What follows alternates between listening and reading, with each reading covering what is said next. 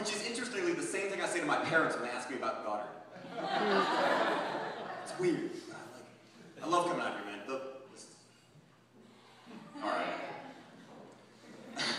so I'm, I'm, I'm from California, as many of you may know. Before I come out here, I usually uh, kick it in Manhattan for a few days, and then kick the train out. And Manhattan's awesome. When I'm out there, uh, I, I end up riding the subway a lot, 'cause that's how you get everywhere. Subway can get pretty boring, so I started like inventing these games to do when I'm on the subway. My favorite game to play on the subway is um, try to spot stone people.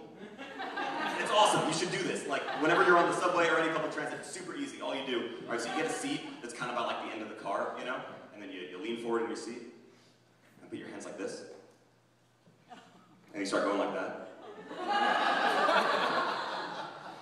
And you just do this for like two or three minutes. And then when you stop, you listen for people going, no!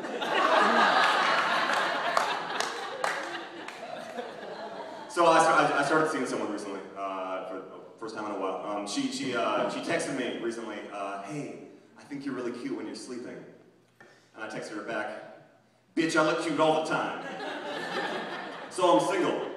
I've actually, it's, it's been a while. I've been single for a while. It's, it's weird because like I didn't realize how long it had been because when you're in a relationship, you're just so busy, you're just always doing stuff. But when you're single, I just realized I just, I just had all this time on my hands. Just all this time, just all over my hands. Ah. I, had to, I had to scoop a bunch of time out of my shower drain the other day.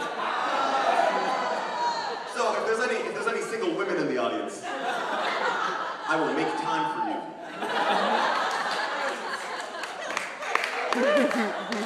but be careful, be careful. Because time flies when you're having fun. So, um, uh, there's a lot of things. There's a lot of things that people do in this world that really get on my nerves, that really annoy me.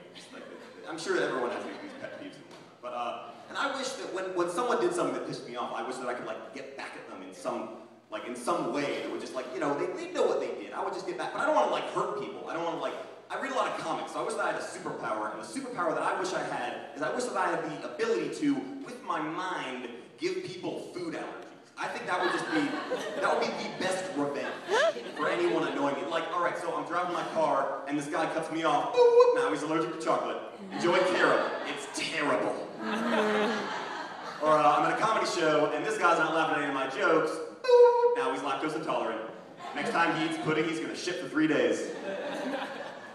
Or, uh, or I just sneezed, and that guy didn't say gesundheit. That's not really that big a deal. Boop, star fruit. well, yeah, we'll, we'll come up with a lot. Uh, so I've been doing this comedy thing for a while, and I really dig it. I'm really, I'm really enjoying, enjoying this damn thing. But I kind of, I kind of know in the back of my mind this likely isn't something I'll be doing forever. Like later, later in life, I'll probably like get some really, you know, normal office job. I'll be chilling in my office, you know, working on whatever. My assistant will come in with something for me to sign. I'll be like, you know something, man? I used to be comedy. I used to tell jokes. That used to be my thing. I got up on stage.